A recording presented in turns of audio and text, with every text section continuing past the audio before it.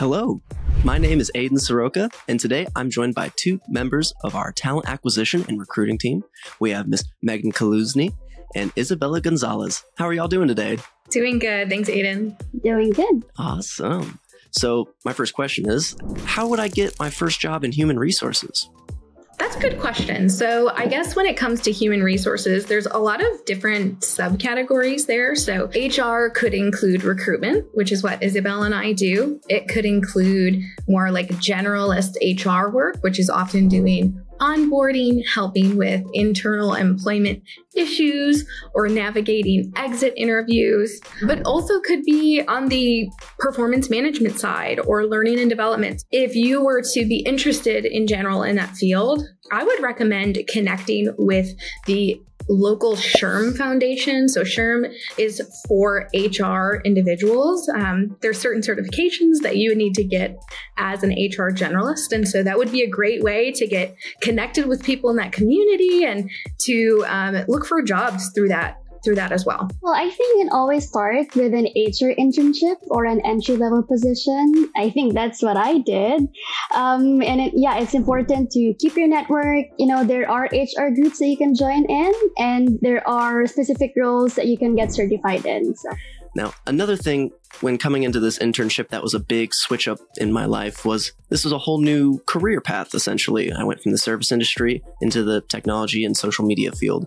So, what are some important things to watch out for when making a switch like this? There's a few things to consider. Um, one, are you prepared for that job switch? Have you done additional research or learning necessary to make that jump? You know, I think in an internship, there's probably a little bit more leeway, but if someone were starting from scratch in a totally different field, making sure that you've trained up on some of the basic technologies um, will always help you get an in. So making sure your resume of your your soft skills and your hard skills really align with what someone in that position would be doing. That's that's an important part is doing your own research and and putting in the time. Well, with all these services readily available, does age really matter when starting a new career? Or can you just kind of go at it?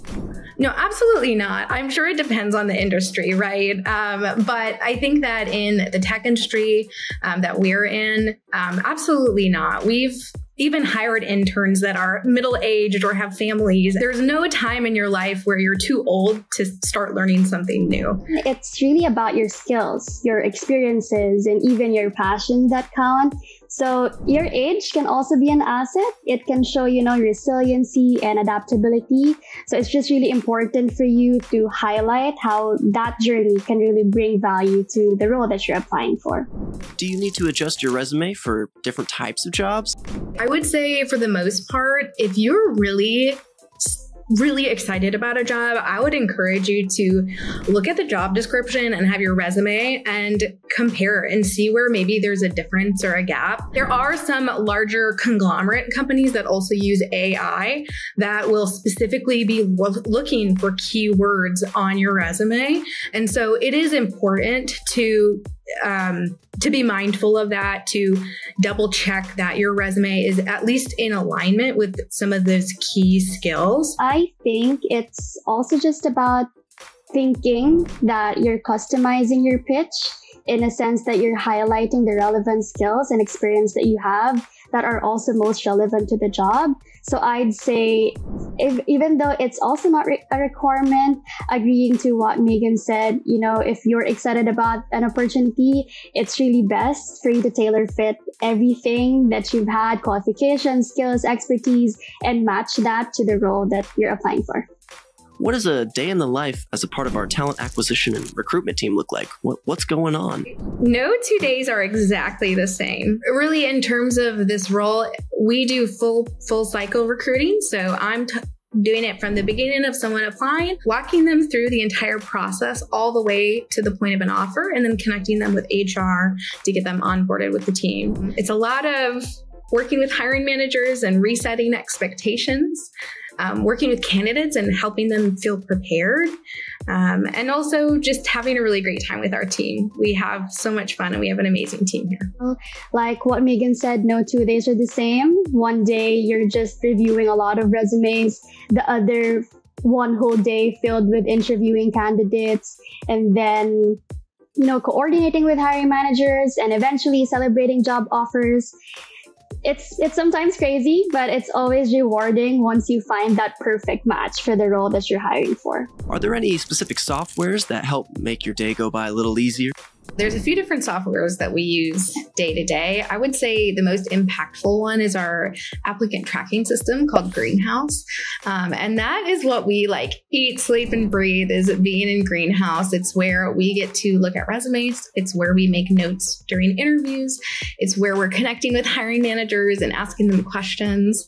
Where we're putting together an offer. Everything goes through that software. So yeah, that's definitely like the number one. Similar to what Megan said, it's the Bible for us, I think. You know, having that ATS like greenhouse, it's really used to streamline the hiring process. So these also manage job postings, you know, tracking applications and even communicating with candidates by being able to share that also with the team.